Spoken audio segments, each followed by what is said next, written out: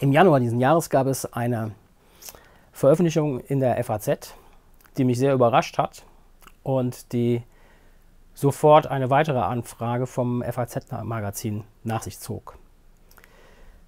Bekannt bin ich eigentlich geworden für meine Architekturbilder, also berühmte, weniger berühmte Architekturen zu zerlegen im 35 mm Film als Kontaktbogen, die einzelnen Segmente und Kuben in Bewegung zu versetzen.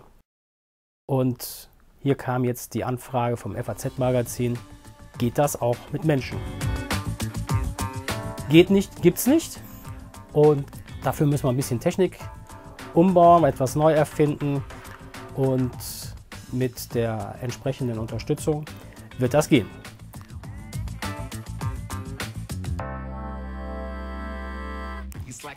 So gesagt, so geschehen, rückte FAZ-Magazin mit Stylisten, Model und jede Menge Klamotten an.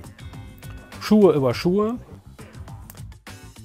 Jacken, Hemden, Pullover, Hosen, alles geplant für zwei Tage Shooting in Siegen.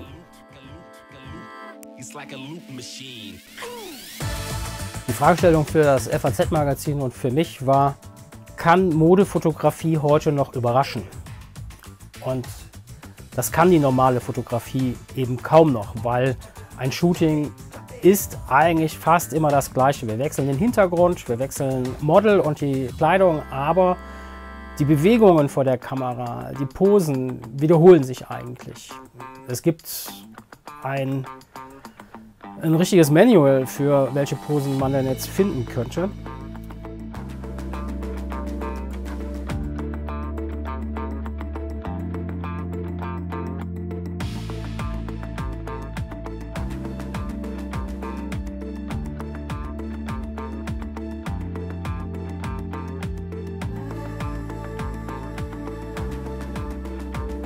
Die andere Bildsprache gegen ein idealtypisches Bild, die war hier gefragt und ich glaube, dass ich genau dieses liefern kann. Nämlich ein Bild zu schaffen, das Idealvorstellungen hinten rüber wirft, hinterfragt und etwas Neues liefert. Für das Model war das ziemlich anstrengend. Wir mussten Posen finden, die das Model in der Regel eine halbe bis Stunde halten konnte oder Positionen zurückfinden konnte etwas ungewöhnlich.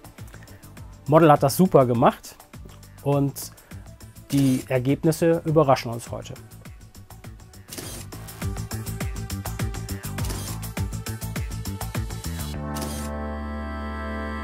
He's like a loop machine.